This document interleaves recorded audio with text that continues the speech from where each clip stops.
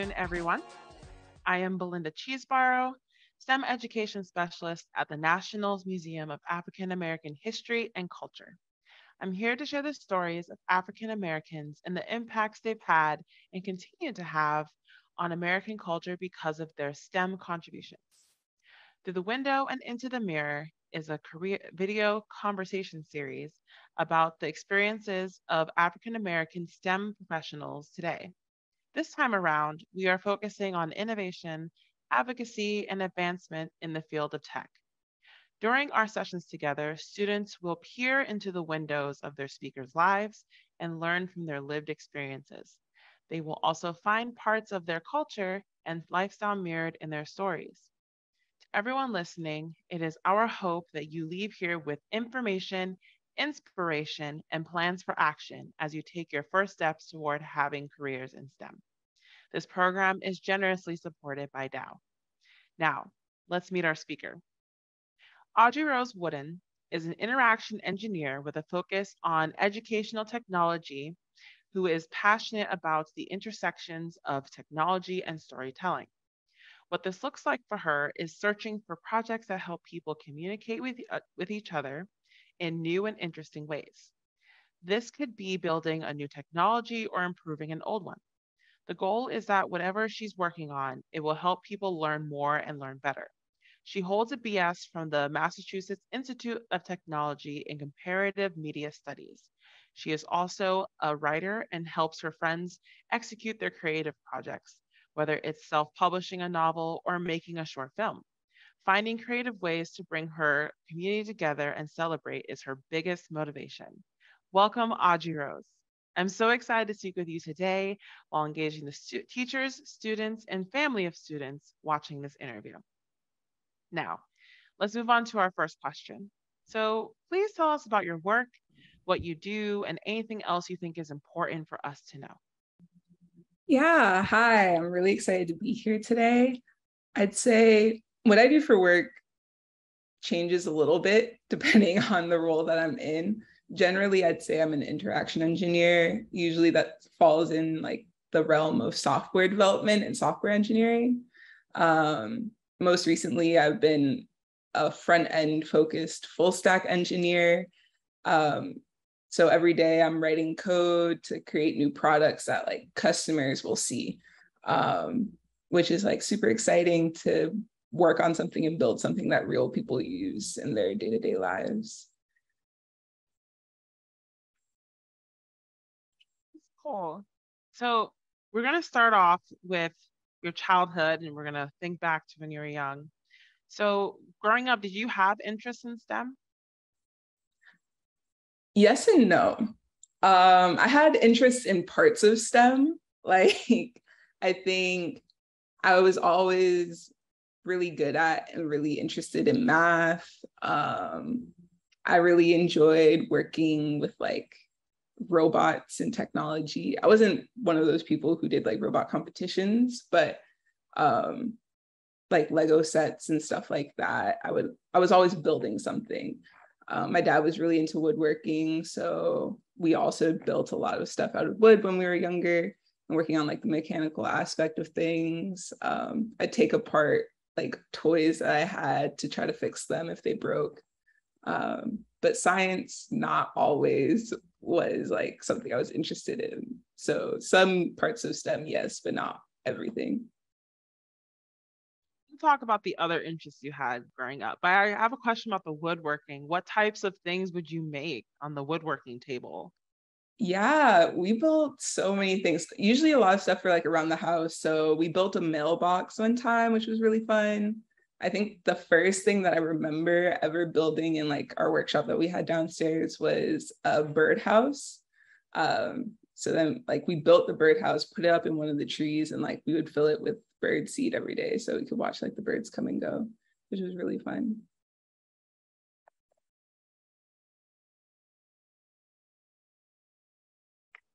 It's really cool it's awesome that you built a birdhouse and also a mailbox. Like I've I've never done that. I know bird they have like birdhouse building kits. So I I'm pretty sure that's not too hard. But like building a mailbox, that's interesting.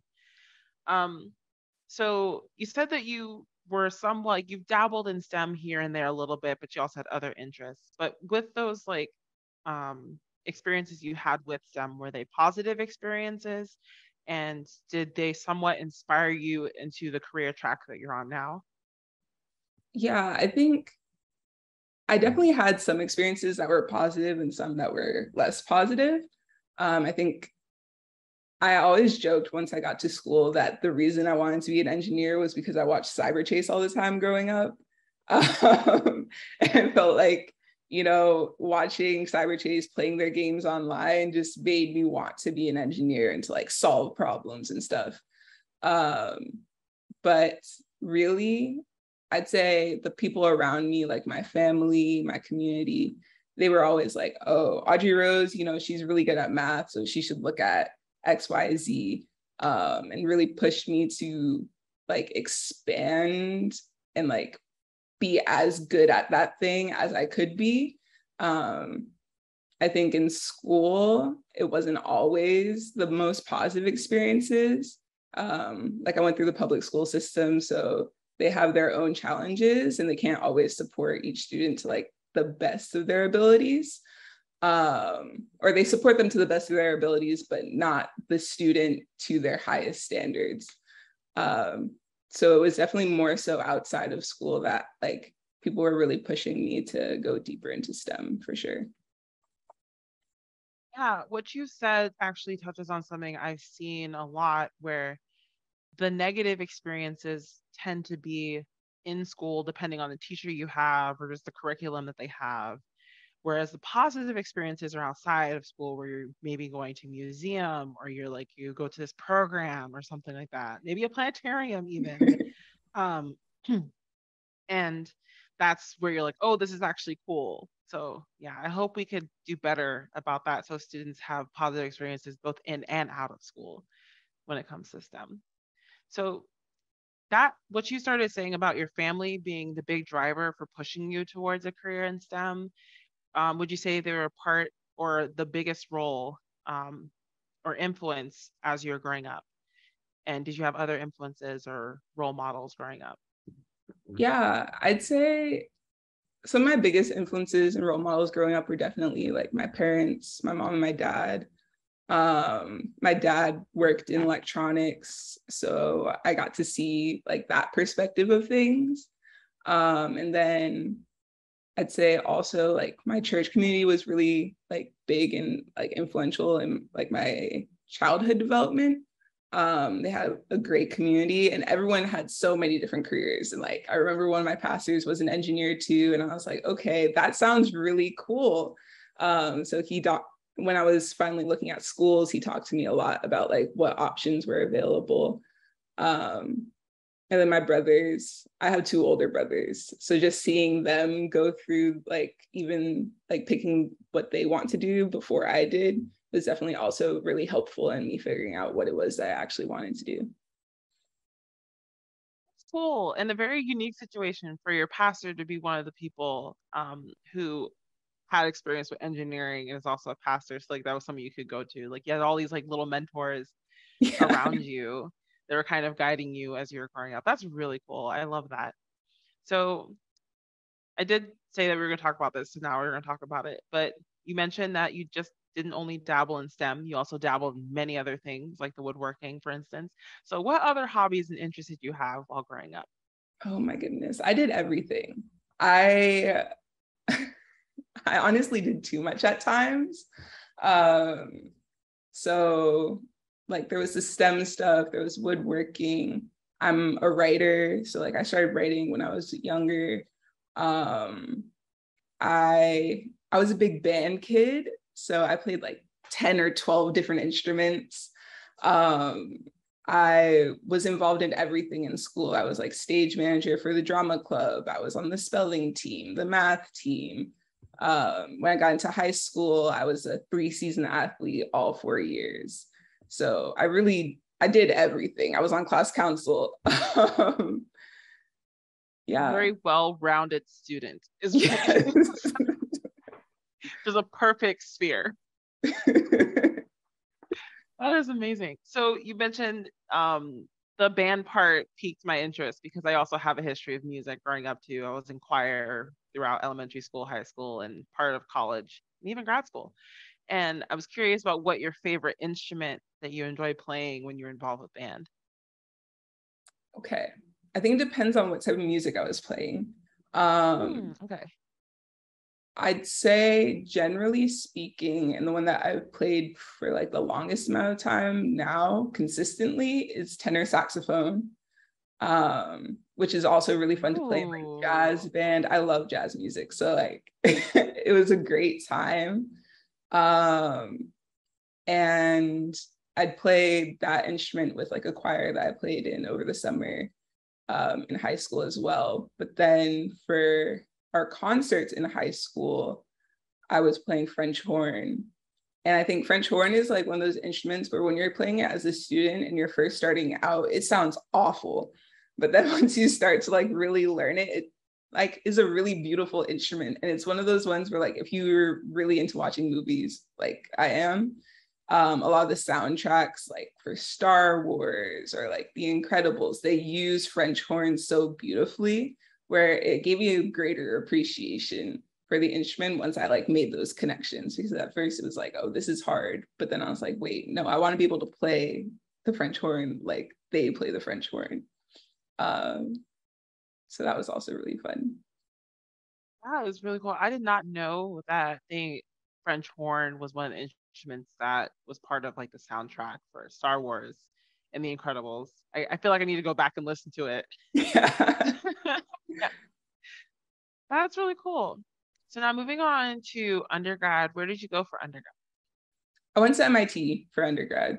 Um, and if anyone doesn't know, because I didn't before I applied there, MIT is in Cambridge, Massachusetts, so just outside of Boston. Um, it's not a fake school. I think when I was applying to college, I thought a lot of schools like were just used for movies and stuff, like Stanford and MIT um, but they're real. Oh, really? they exist.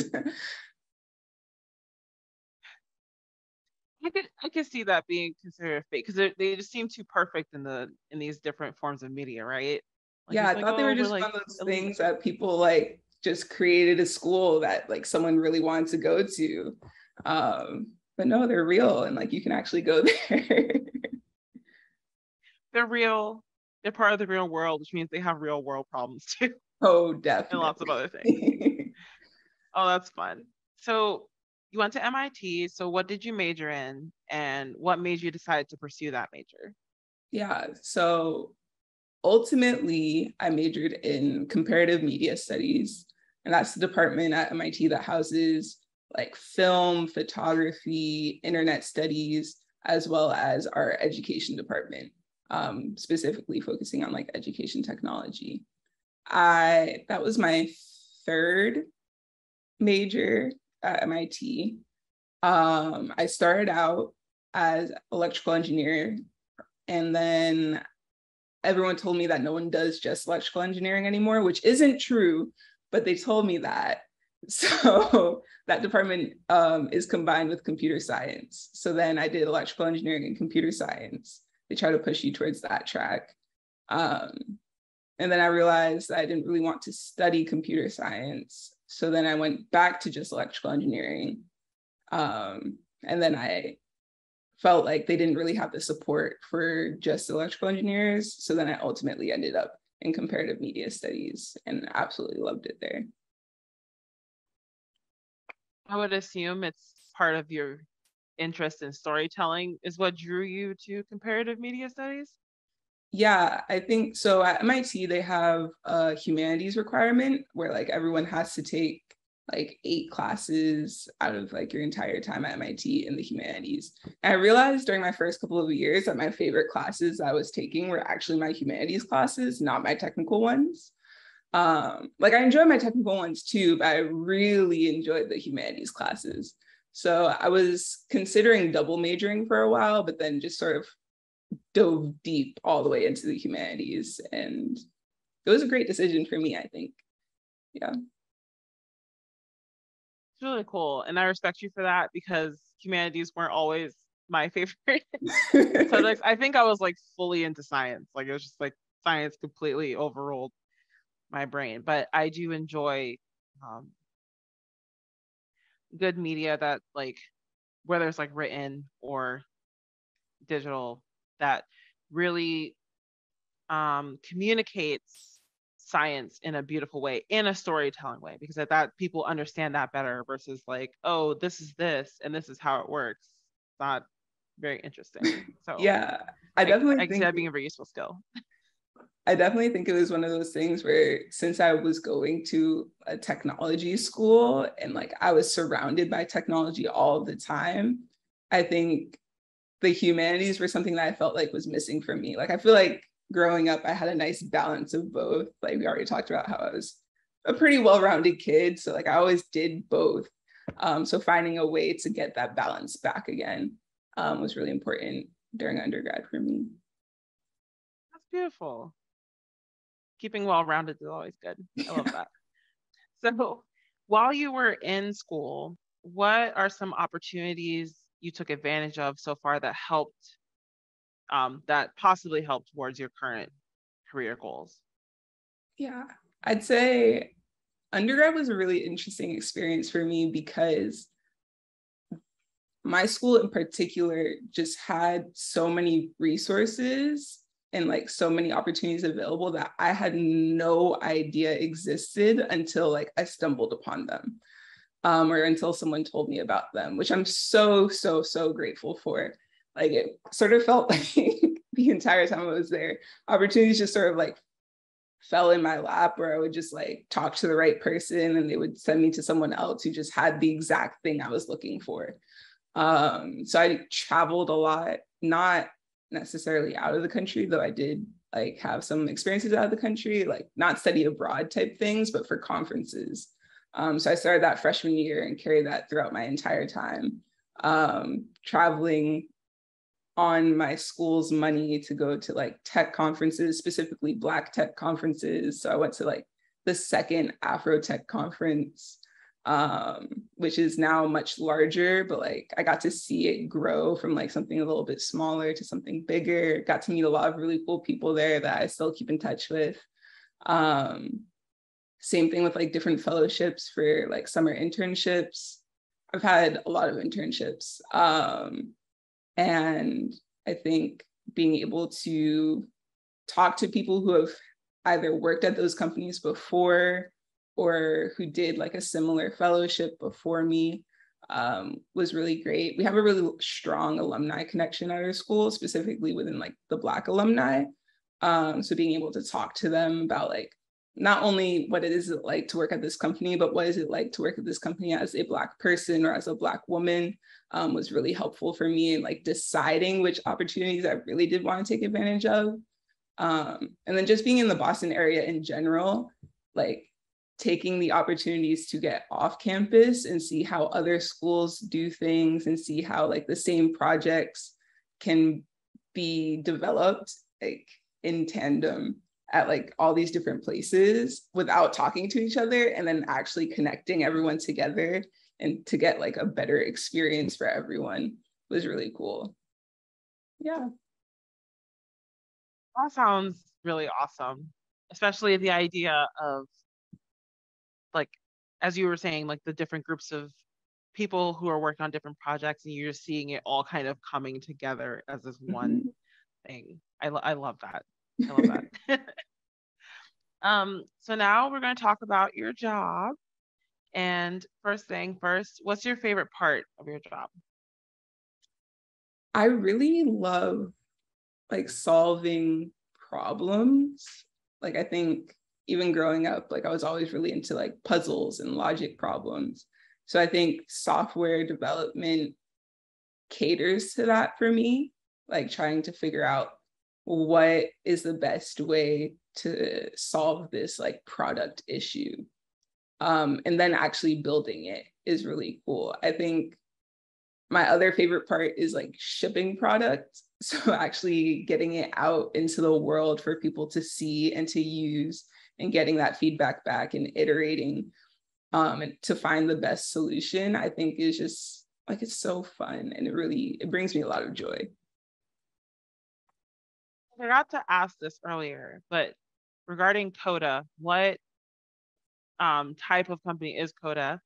And also, like, what types of software are you working on that you can talk? Yeah, so Coda makes docs. Um, their whole thing is about like building things in ways that are right, not familiar. Um, so if you think about a lot of tools that people use, like Google Docs or Microsoft Word or like Google Sheets or Excel, like a lot of times we're just creating other iterations of things um, that are really familiar. And that's great for user experience and for user adoption, like getting people to use your product. They want to use things that they already know how to use. Um, but Coda is really trying to flip that on its head and build things that you would use the right way rather than just a film a familiar way. Um, so really building from the ground up. Um, yeah, I can't really talk about what I'm working on right now, right now, because it will be coming out soon. But yeah, that's that's what we do. It's really cool.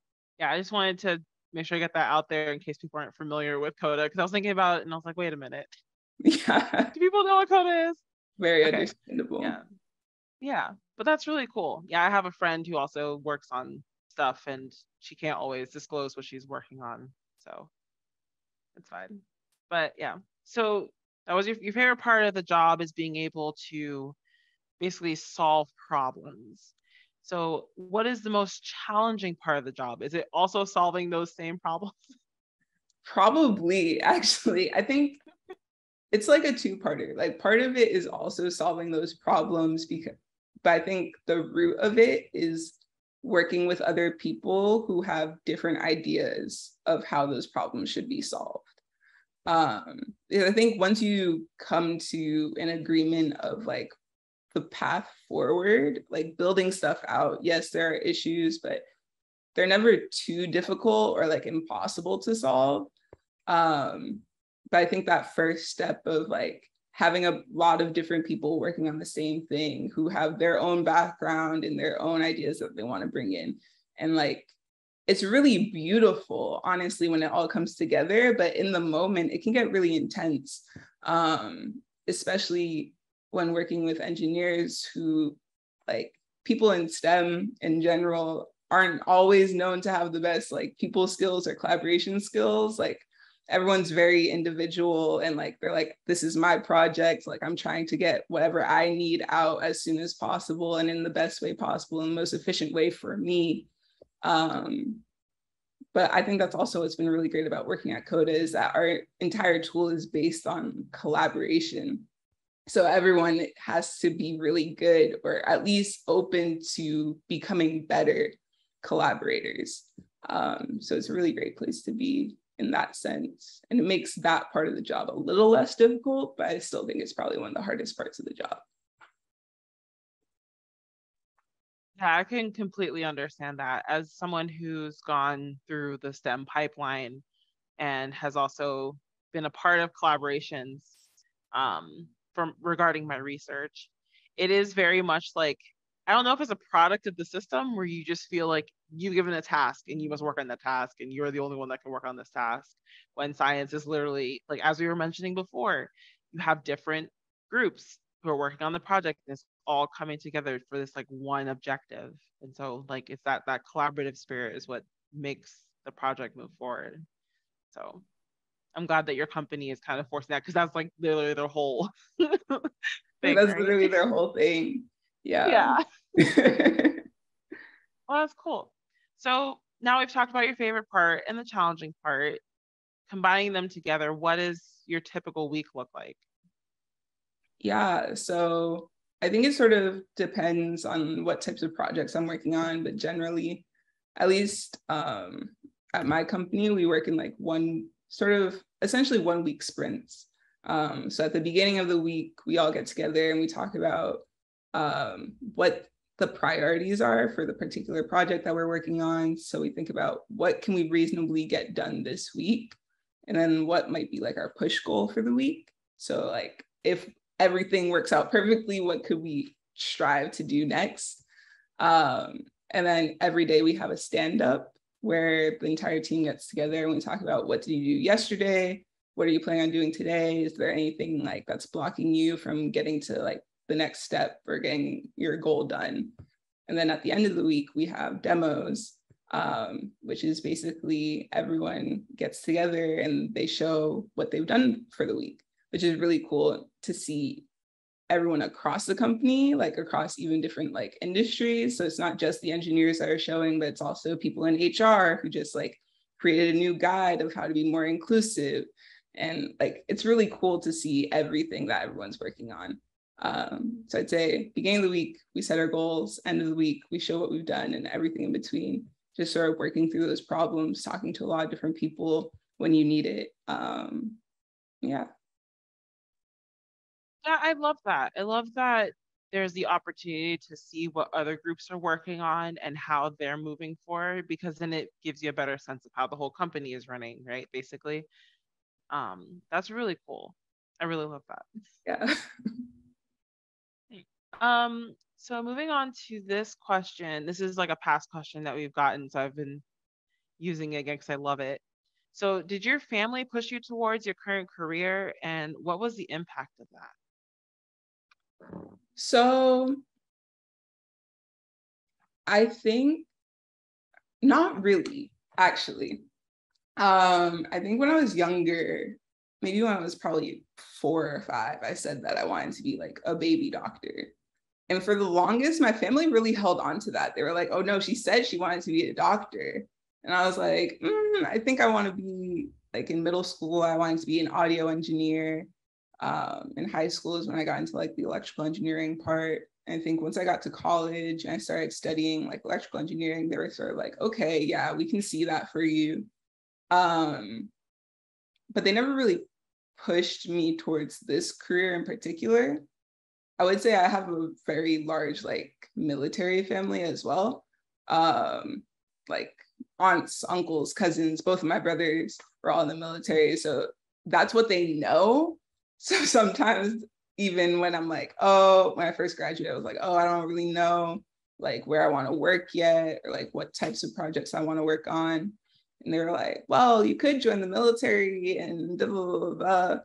Um, I didn't, but I think that was just their way of knowing that this is what they know. They know that like you'll be taken care of. I think that's what's most important for them is just knowing that I'll be okay. Um, and knowing that I have a plan. So then once I like tell them my plan, they settle down a little bit more and they're like, okay, she she knows what she's doing. Um, but they're super supportive of what I'm doing now, definitely. But I wouldn't say they pushed me towards it. That makes sense. I also find it funny that they held on to like your first dream for a really right. it's like you were like, how old were you? Like probably like five or six or something. Right. No, definitely no older than six. yeah. It's like, oh, he's gonna be a doctor. And it's like, uh maybe wait till maybe wait till Audrey Rose figures out life a little bit more. Right. Which is funny because even I think I mentioned earlier that I wasn't always super into science. Like I love chemistry and physics and stuff, but like biology, not my thing, has never been my thing. So I just don't think I was meant to be a doctor. um, yeah, I don't think that would have gone well for me. I I completely agree with you about the biology thing. Because I also wanted to be a doctor when I was younger too. I wanted to be a surgeon because I thought dissection was cool. Um, and I was like, oh yeah, surgery because I love dissection. Yeah. that makes but yeah, no, biology in general is like, yeah, it's not my thing. Physics drew me, and chemistry and physics were the ones I enjoyed more. So I totally agree with you about that. Um, but yeah, so another question I have regarding your career is how have you pers- well, this is like a three part question. So I can repeat any of this if you need me to. Um, how have you personally benefited from your career and or success in STEM? How can it be used to motivate the younger generations and even those who are older but interested in moving into the STEM field? Do you have any ideas for easiest first assignment slash project you could think of for youth interested in your STEM field? In Hmm. Okay.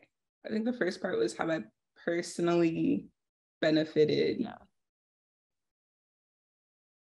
I think so. I think I'd say as I progress in my career, I've become more confident in what like I'm able to do.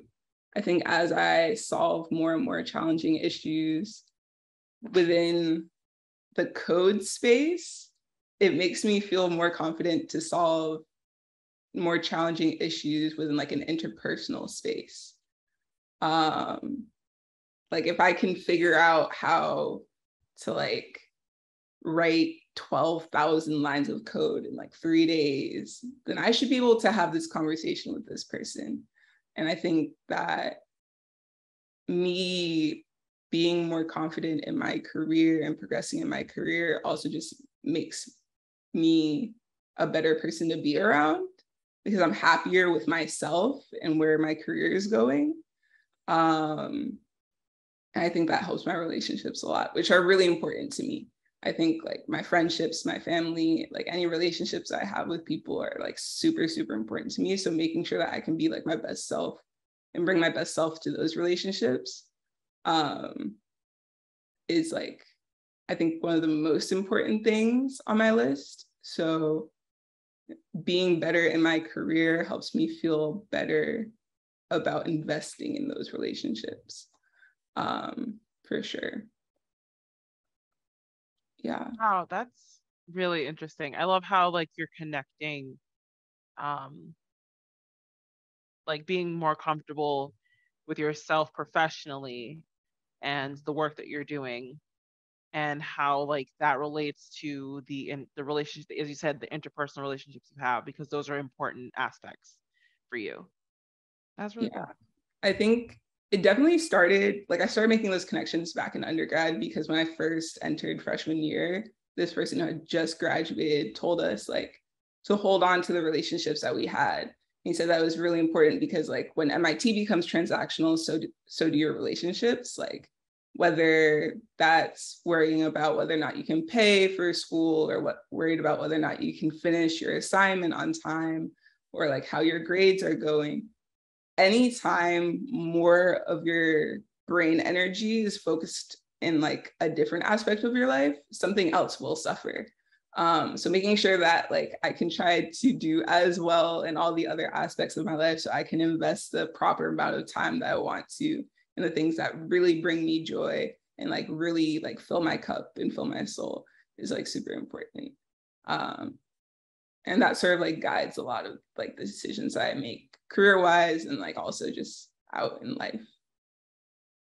Really seems like a word that perfectly describes you as balance. I try. Like, yeah. not saying not saying that you always have perfect balance, but like that is a goal or like that's just part of who you are as a being. Like you just want balance through everything. Yeah. I think it's through your interests. Yeah. Yeah, I'd say balance or yeah, I think balance is the exact word to describe it. Is what I'm always striving for. Um, so I don't have to like let go of any other any part of myself. I think it's really important to like be able to bring my full self to every part of my life, whether that's professionally or personally. Um, and trying to find that balance is definitely what I'm looking for and trying to maintain. I would I would say that that's something a lot of people are yeah. working on too. So you're not alone in that aspect. Um, but the second part of that question asks, how can it be used? So, like the things you benefited from, how can they be used to motivate the younger generations and even those who are older but interested in moving into the field of STEM? Yeah, I think something that I've learned in at least up until this point is that we all can do this work, um, which I think is really important because sometimes we feel like we cannot. And it's not that you can't. Um, there are definitely things that you can do better, and then there are things that you don't do as well. Um, but we can all do this work. And I think that the ways that like interviews are structured or the ways that programs are structured, it sometimes makes you feel that you can't. That's not really it. Um, so I'd say if you want to, you definitely can, and you can make that happen. Um, I think I don't believe in any of like my decisions being like right or wrong. Like there are some things that are just like right or wrong. But I think a lot of the decisions that I've made, like I had, like I came to a crossroads and I chose one way. Um, and either decision would have been fine. It's just like a different outcome. And like I've become like a different version of myself that like I wouldn't have become if I went a different way. And that way I would become a different version of myself that isn't better than like who I am now. It's just a different version. Um, and I think that in STEM, there's also a lot of options like that. I think there are things that break like your systems. Um, but there are always a lot of different options. And sometimes one option is easier, sometimes one option is like has an optimal performance, but like there are always those options. Um, I think if you can see those options, like if you go through life and you can see options, then I think that you would really excel in a lot of fields of STEM. Um, because a lot of what STEM really is is just making decisions and then going with that decision and following through. And I feel like a lot of us, we have the qualities necessary.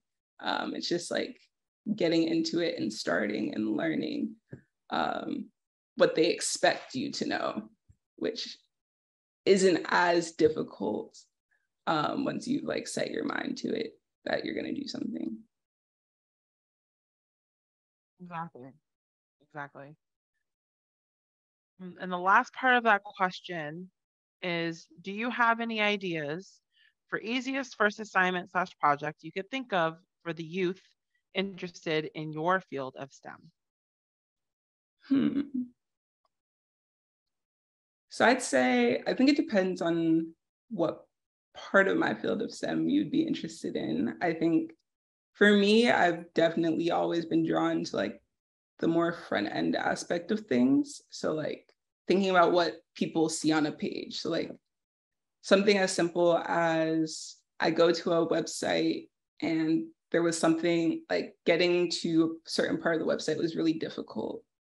Thinking through different ways that would have made that easier for me to get to the endpoint that I arrived at. Like if I had to go through three different pages to get the answer to my question, how could that have been easier? Like maybe I could add a search bar.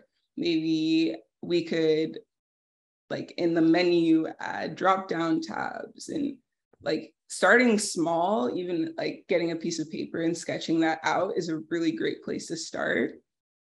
And then once you're there, once you've gotten to that point, I think the next step is like drawing it out like digitally. So there are a lot of different tools like Figma, for instance, is really popular. Um, or like if you have um, like a tablet, if you're on Procreate, I love like sketching out stuff on Procreate and like trying to make it as like clear and clean and crisp as possible. And then after that, it's like actually building it out. So like there are a lot of different websites that you can use um, as like documentation of like how to build things. There's um, like the hour of code little tasks are really cool. I don't know if they still operate, but I remember back in high school, like we used to always do every year, we had the hour of code. And it was like this huge thing. So I'm certain that they at least still have a website up that you could see. Um, but any of those types of like challenges where, or like a 50, you set out like a, a 10 day challenge or a 20 day challenge or a 30 day challenge where each day I'm going to like code up a small feature. And then eventually, once you made all those small features, they turn into bigger features, or you can connect them and make like something more complex. So I think just starting small and being like, oh, I want to learn how to build a search bar. I want to learn how to build a menu. I want to learn how to build a profile page. Um, and I think sometimes if you're building out those small things, and you're building stuff that you wouldn't use every day, it can get really discouraging because why am I building? Why am I building a flight simulator when I don't like airplanes. Like I think it's important to enjoy what you're building. So like once you learn the basics, trying to build out stuff that like you would use or that your friends would use. Um, because it's really cool once you like finish a project and you're like, yeah, I'm gonna have my friends over and they can test it out for me and they can tell you how cool you are that you built this thing that they all want to use. And if it breaks, that's also okay because it's another part of the process. And now you get to fix it and then get to that same point. So. Exactly. It's a very iterative thing. Like working on it, testing it out, breaks. Okay, let's fix it. Kind of yeah. I love that. So uh, lessons learned is just start small, start where your interests lie, mm-hmm. and use the resources you have around you. Yeah. Yeah. Okay, so let's move back to your life outside of work. So you've told us that growing up, your family and your friends and even just like people in your community were like the biggest biggest influences growing up. So as now now you're a full-fledged adult, do you have any um, newer role models or influences, or have you pretty much it's pretty much stayed like your family and your immediate community? Yeah, I'd say my influences from growing up are definitely still like really strong influences today. Um, but I definitely have added some more. I'd say I have two like main mentors that I've gained and built relationships with throughout like my time in undergrad and still today. Um, one of them graduated from MIT in 2011. One of them graduated from MIT in the 90s. They're so cool. and I think they're just like people where like I would want to be that type of alumni when I'm older. Um, so I think in that way, they've been really helpful. Um, and in particular, the one who graduated in 2011, he was 10 years ahead of me so it was like this really cool like dynamic of like, oh, you're 10 years out. I'm just starting. Like, what's going on? Like the exact 10 year gap was like really cool to both of us. Um, and like when I was out in San Francisco for one of my internships, he was living out there at the time. So like he would bring me around, introduce me to like the other MIT alum that were in the area. And they were just like all really cool people that were like finally getting established in their careers. Like i'd still say i'm pretty much still at like the start of my career. Like i have a lot of different options of ways i can go. But they were really getting established. Like they had just gotten to the swing of things learning how to be like a real adult like learning what they do like in a company what they don't like in a company um, and getting up like the career ladder um, so getting to see them at that point and know that that will come and that like I don't have to be there right now. They definitely reassured me that like there's still time to get to that place. So I would say to everyone, there's still time to get to this place. Even I like don't really feel like I'm somewhere where like like I'm not at the pinnacle of my career yet. And I'm very okay with that. Um, I'd actually really prefer to not be because I have so many years ahead of me. And if I was at the pinnacle of my career right now, like where else would I go? So I'm really looking forward to like the upward trajectory and they help me like see where that can be, but stay grounded in where I am right now as well. Still so much more room for growth and amazingness to happen. So. Oh. You're just at the beginning of it. Yeah, which is like so exciting to be. Yeah.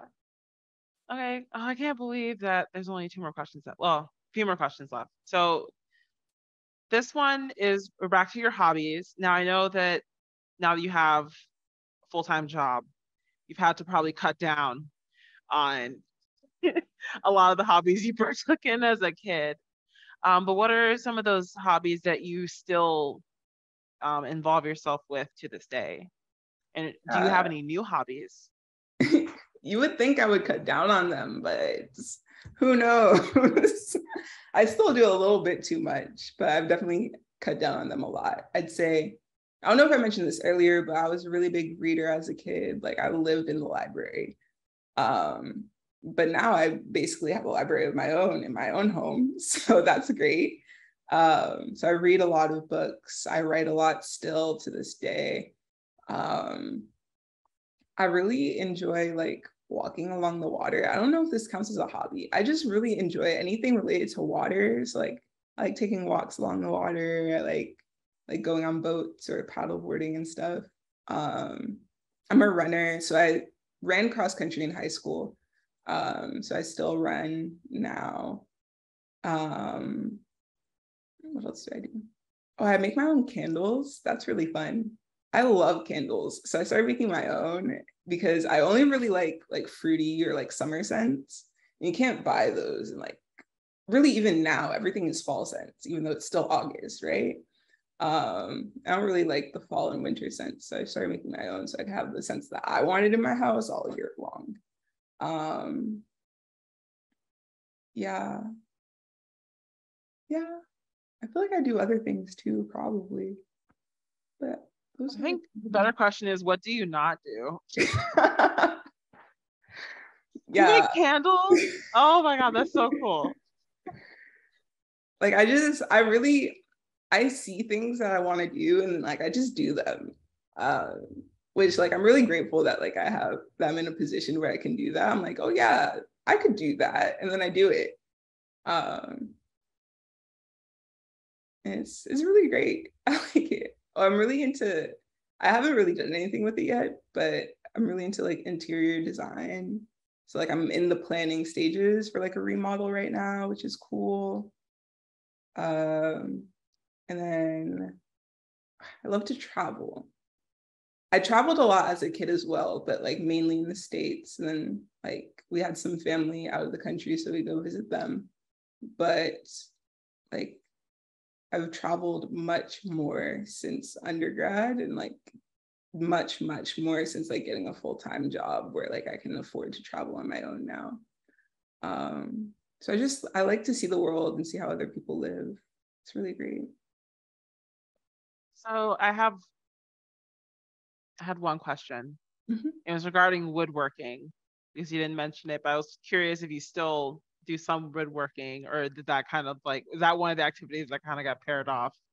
So not regularly, but that was mostly because um I haven't really had access to like a shop or anything or like wood. I guess I would have on campus, but like I was I was doing a little bit too much on campus. Like I was always doing something. Um, I was really active in like our Black Student Union and advocacy on that front. So like um I like really had to choose like what things I wanted to do so I could also do well in my classes at the same time. But I do have a plan for like a coffee table that I want to build. I want it to be like like a Scrabble coffee table but like with another insert on top so I can like do puzzles too. I've just been trying to like figure out ways where I can like play games and like make puzzles together, but like not take up all the services in my home. So like I'm I'm in the planning stages for that now, but my dad and I are are planning on making that probably within like the next six months or so. That that sounds amazing. I can't wait to see that. I hope I get to see at least a picture of that at some yeah, point. I'll send a picture. Whatever. Yeah. whenever it comes to fruition. That's really cool. I did have a comment about the water thing because I just visited my friend in Wisconsin and we took a walk to Lake Michigan. And this, like, I totally understand the feeling of just wanting to be near water. It's just that very healing atmosphere to be around. Yeah, it's really grounding. And I think like it was one of those things that was like always true for me. Like when we were growing up, we always went to like the ocean. I've lived on a coast like all my life. So, and then like I did internships where I was on the West Coast, or like I did one summer where I was like in the Caribbean. So like I've always been near like a large body of water. So it's like really important to me. Um I've been like really grateful to have that access because I don't know how people in like landlocked states do it. I really don't. Like me not being able to go to the water just doesn't make sense to me. Um, but then when I was in school, actually cross registered and took some like liter black literature classes at Harvard and like learning about like the history and like spiritual connections and just like historical connections of water and like black people. And like that connection with like our writing as well was like super cool. Like langston hughes has an entire poem about rivers and being like like my body speaks of rivers um, my soul has grown deep like rivers so just like water is like so cool to me um, i write a lot about water now too after learning about that that was really cool. And I feel like you would need like a whole another 30 minutes to an hour to talk even just about that. So save that for another day. but that is really cool. So now we're coming towards the end. So we have just a couple questions left. Um, first of which is my favorite question to ask. But um, what does Black slash African American representation in data slash tech mean to you? to me, it's everything because I think, particularly being in the field that I'm in, where I care about the user experience and I care about how people are using these products, having people that look like me working around me, one, it's great for me. Like it's a much better experience for me to be able to look out and see other people that look like me in the office or like across the Zoom screen since I'm working remotely right now. But it's better for the product. Like I hate using it as like a business objective or being like, oh yeah, it's better for business. But like the research has been done. It is better for business. But more importantly for me, it's better for the users who use these products. So when they have representation in the people who are building the product, their needs and their concerns and their cultural nuances are being taken into account, even if it doesn't end up being the like someone's suggestion isn't the one that we go with. Just having that voice at the table, though, like having the voice at the table and never going with what they say isn't enough. But I definitely think it's a start. And it's one of those things that makes me feel like it's more likely to be listened to. It makes me feel like it's more likely that we'll find products that are being built more ethically, that are being built in ways that like actually take into account what we care about using and what we care about doing.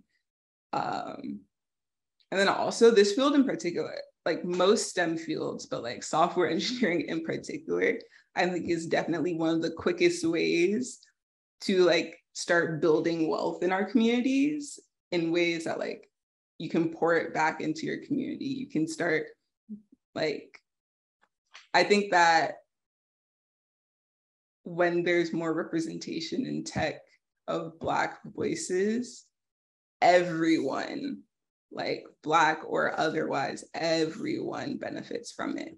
Um, yeah, like you can make a lot of money here too, which is like also really cool just for yourself, for your family, building that generational wealth if that's something important to you.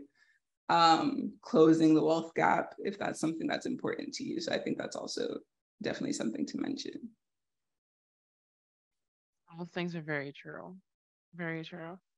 And my final question is what advice do you have for members of our audience particularly the middle schoolers to high schoolers who are thinking about the greatest things in life. Um, what what advice do you have for them who want to follow your particular path?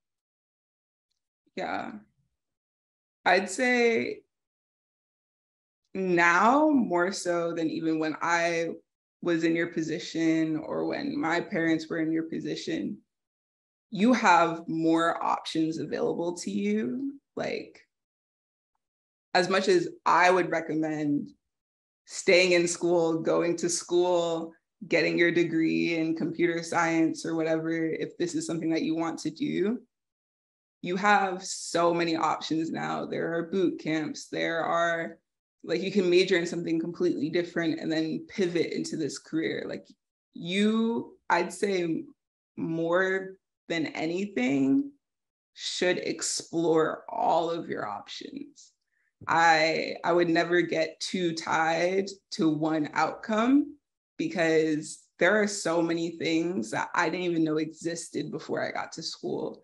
Um, like so many, we have like 20, MIT had like 20 different types of engineering that you could major in. I had no idea. And if I didn't give myself the grace and space to look into each of those and see if there was something else that I would have wanted to do, I never would have stumbled on the major that I ended up picking. And I don't think I would have had as great of a time, as great of an experience if I stuck with what I said I was going to do at the very beginning. So I'd say flexibility is something that I would value if I were you in your position. Um, because you have so many options and you have so much time ahead of you. I know it can feel really daunting of like, oh, high school is coming up or college is coming up and I need to do this, I need to do that so I can get into a good school so that I can do this thing that I really want to do because if I don't do that, then like my entire life is like meaningless, but like that's not true. it's like really dangerous. I know it's really easy to say for me now since I've been through all of that and that it feels very real and it is very real in that moment.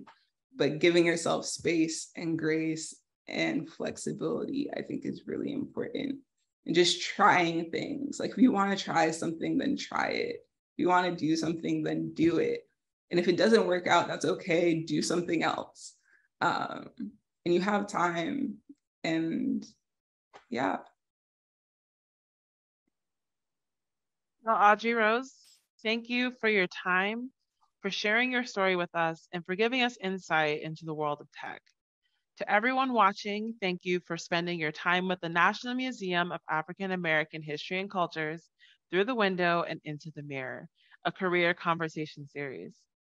Thank you all for your participation, and please remember, history is made by doing ordinary tasks extraordinarily well over long periods of time. Thank you very much. Stay safe and have an amazing weekend. Bye bye.